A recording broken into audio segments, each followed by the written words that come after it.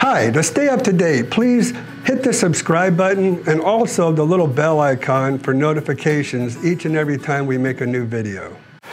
Hey, Ira Miller here, the Villages Expert, coming to you today from 2129 Barbossa Court. We are in the village of Santo Domingo. So the last uh, home that I video was in Santo Domingo as well. Uh, that other one was 3049. This one is $310,000. This is called a Royal Palm. This is similar to the first one that I video called the Cypress, except this is block and stucco. The other one was wood frame and vinyl. Uh, 1,908 square feet living area for this Royal Palm.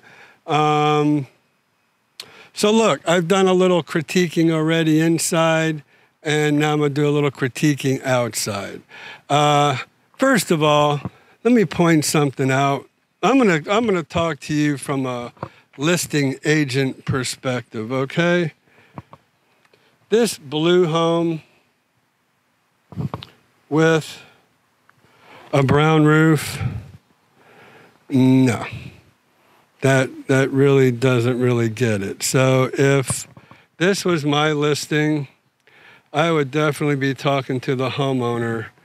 Now look at the same roof on this home next door and look what color they painted it and how does that look?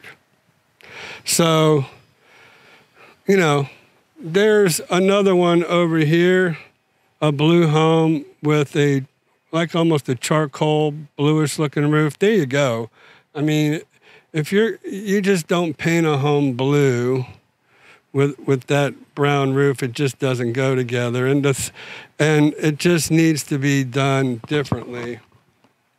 And so, if this was my listing, I would definitely be talking to them about um, about changing the color on this home. All right. So I'll talk to you a little bit more about um, this area. We're very close to uh, Spanish Springs, like I mentioned in my last video. Um, right behind us over here is El Camino Real. That's a major road, but this home is off of that, so we don't have to worry about the the perspective of this home being right on the road. We don't have to worry about that. We are in a little neighborhood that's. Um, uh, it's not a major thoroughfare even through this neighborhood, so it's quiet. Not a lot of activity, uh, traffic, stuff like that going on. So uh, you don't have to worry about anything like that. Um, I guess what we'll do is we'll do like what we normally do. We'll just go ahead and go around the outside and then do the inside, and I'll just keep uh, critiquing from that point. Oh, and this is the third in a series for a, a guy named Gary who picked out these homes and asked me if I would do videos of these homes for him. So I've come right out. Um, it's kind of a gloomy gray sky. Can't help that. It's been raining a lot here in Florida the last uh, few weeks, I guess. So um, I wanted to get these done and going and getting processed so I can get them to Gary as soon as possible. All right, but anyways, enough of that. Let's go ahead and go um, start looking around the house. And uh, so we'll just keep the video rolling. Two car garage. This is uh, a driveway that's been stamped. So they pour kind of a, a concrete finish on it and they put a pattern on it first, put the concrete down, and then pull the pattern off, and that's what creates this uh, this look on this driveway and walkway. Um, it does look like this home needs a paint job anyways, so going back to what I was saying, um, it's, uh, it's, it's faded out. You can kind of see some chalkiness on my hand. So this home is on the market. Really should have a paint job. So they might as well go ahead and paint this home, get it looking right with the roof that it has. Now, um, this is uh, trying to see if I can see what year this home is. I mean, this uh, air conditioner is. And I'll, I'll have to get back with you on that. I don't want to spend a lot of time trying to find. I can tell, I've got a program where I can tell by the serial number here. So we can also come back and maybe I can find something inside as well.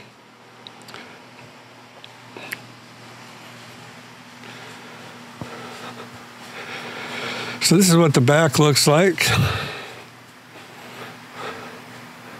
Now, they did something really smart with this home. So the inside is, uh, the, the lanai is enclosed.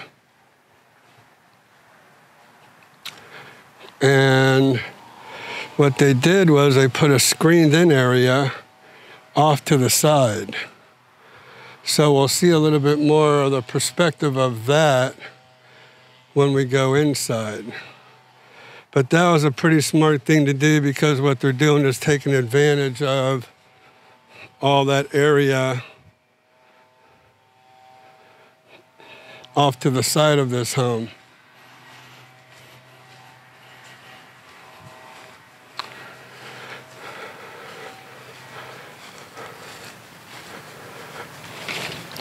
So let's go ahead and go on inside. Now again, talking to you from a listing agent perspective, this stuff would have to go. This grass, I mean, this is this is just natural gr- grass that's grown in amongst this other um, mossy grass. But you definitely want to clean that up if you have a home on the market. They screened the front in, the front entrance in, or made it a little front porch out here, so that was kind of nice. I mean, I don't know if you really need the front porch screened in.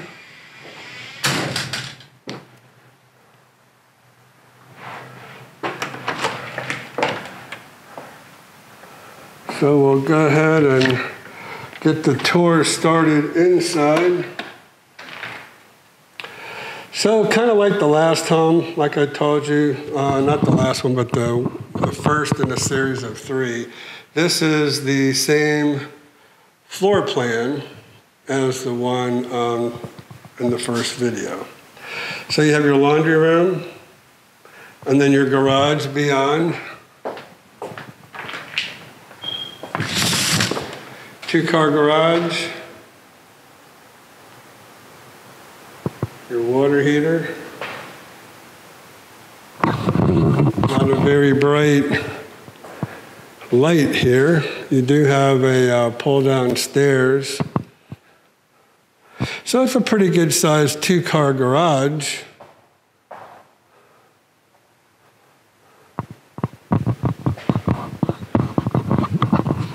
The low light kind of messes up my my um, image there, my focus. Here's a little area that a lot of people use for different things, a little office. This looks like a little drafting table. Kind of brings me back to my roots because that's how I started my job career was as a draftsman. All right, this is what the kitchen looks like. A lot of people will take these cabinets and paint them. I see that done a lot lately, and I think it really adds a really huge perspective of this, especially when you see something like that. Okay, so you have to do something with these cabinets. Painting them is the thing to do. Grout I guess I'm very anal about tile grout. In my opinion, if you're going to try to sell a home, you want to get it in as good a condition as possible, but you can kind of see this is a little darker over here compared to over here. So you want to have uniformity in your grout. So again, just my, just my uh, perspective from uh, a listing agent. The uh, baseboard coming off, that needs to be secured. All these little things, you know, this is why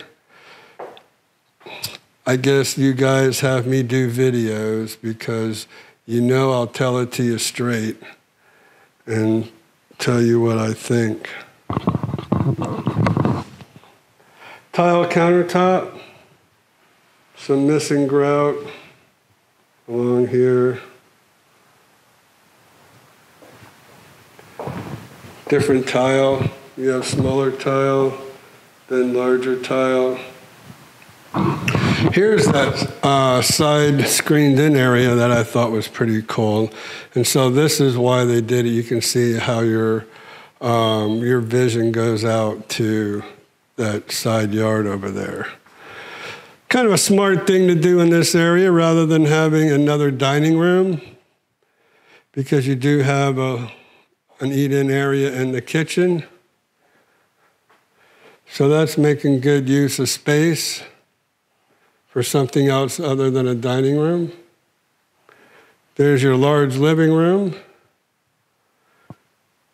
They don't have any lights in here. I would suggest you put a solar tube in here to light up this space for sure. If nothing else, a light kit on the fan, but there's no light in here. Master bedroom, tile.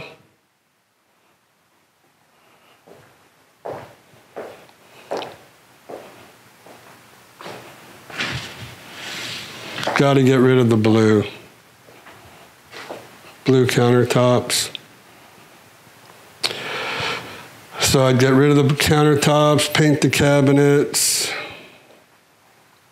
So there's two closets in this um, floor plan. So this is one. Then you have a little private commode area and shower area separated off by a pocket door. But here's your other um, closet. So that's kind of nice. I will tell you though, see how far, see how long this wall is? Okay. Um, you can't really see it, but this needs to be painted.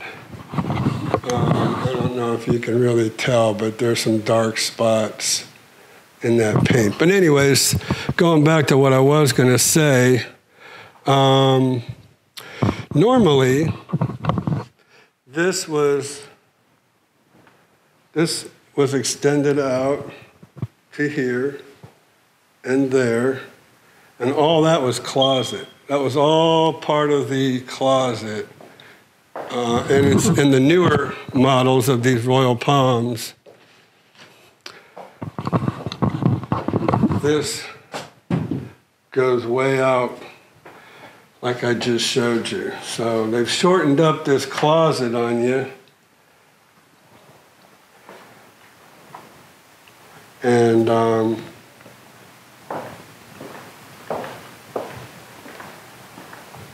like I said, normally they brought the closet out this far. So I guess that wall right there will give you a perspective of how much closet space they took.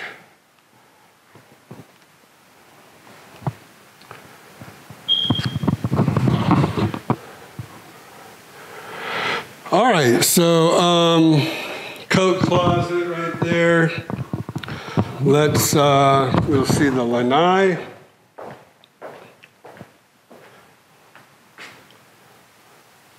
that they enclosed.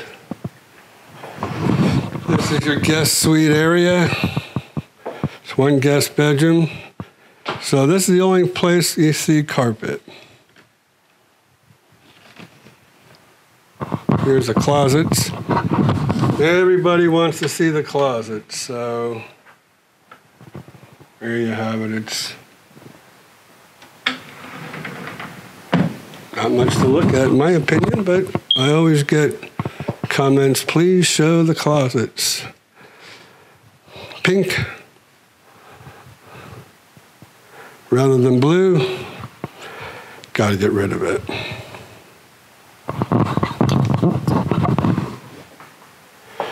So, as cheap as granite is these days, I would put granite in the kitchen and the bathrooms for sure. I put some, looks like LVP in here, or I don't know the way it, way it sounds. Sounds like uh, laminate flooring, not your LVP. Your LVP has more of a dampered sound to it. And your closet.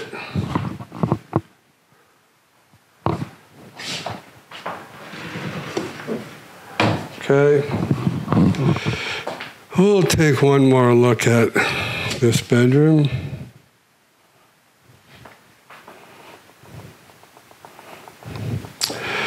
All right, so that will do it for this home at 2129 Barbossa Court in the village of Santo Domingo. All right, so there you go. There's my perspective of 2129 Barbossa Court. Uh, look, I'm going to get a call from the listing agent. They all do. They all call me and they ask me uh, for some feedback on, um, on these showings. And so nothing I said in this video is not anything I'm going to say to the listing agent. I'm going to tell them the home needs to be painted inside and outside. The grout needs to be cleaned. I'd change the countertops. I'd paint the cabinets. Um, that would make a huge difference. That would pay dividends. Might even be able to raise the price of the home, actually, you know, if you did some of those things that I suggested. But um, so I'm the type of listing agent where I tell my owners, you know, exactly what I think. This is what you need to do to get your home sold. You can lower it tens of thousands of dollars, or you can probably put about, I don't know, you know, if you did all the painting, if you did all the granite, clean the, clean the grout and everything, you'd be under 10. So rather than lower the price, I say, hey, put a little bit of money into it. Let's get this thing sold, you know, because we might lower it $10,000 and then have to lower it another 10000 So you might as well go ahead and start off with putting 10000 into it then get the thing sold. Might even want to raise the price, get your money back or whatever. But that's the way to get a home sold, okay? Not, you can lower the price. You can lower it, you know, 10, 20, 30,000. Eventually it's going to sell. You just have to keep lowering it. A lot of people will even think that changing uh, real estate agents is going to do it, right? No, wrong. I mean, I can't tell you how many times I've had a listing. They didn't take my recommendations. They didn't do as I suggested. Six months goes by. The listing goes. I get ex- it gets expired. They go and they call another agent. That other agent, and I can't tell you how many times they'll lower it ten thousand dollars right off the bat than what I had it listed at right? So I'm either saying, look, it's either price or condition when you're dealing with selling homes, all right? I would rather put it in the condition that people are looking for rather than keep dropping the price to the point where you're about giving the home away. So that's not how I do things. Um, but, anyways, it is what it is. And so, any of those suggestions, the solar tube uh, in the living room, I mean, all those make huge differences when you're trying to sell a home. So, whether they take my advice, whether it's my listing or not, whether it's something that I'm shooting a video on, um, I don't know. That's up to the, the homeowner and the listing agent.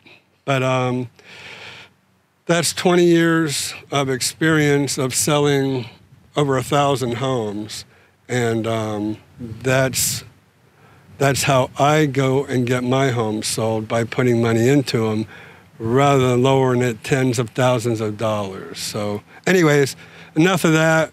We'll get off that high horse. Um, so, there you go, Gary. There's my perspective, folks. If you're watching this, this home is available.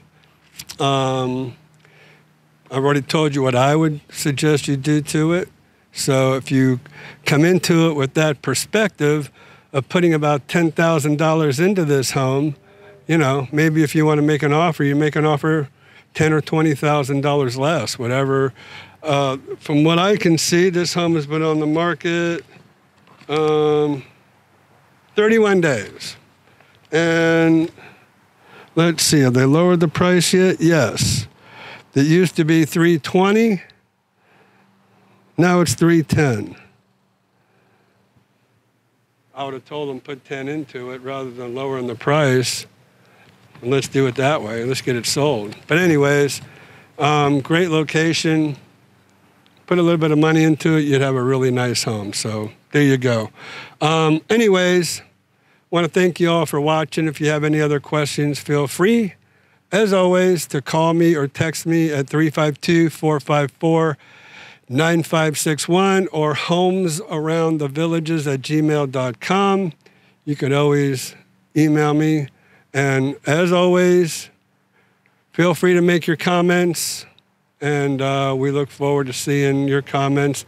And like I always say, if you're watching this video, it is on the market, or else we would put a banner on it that says pending or sold.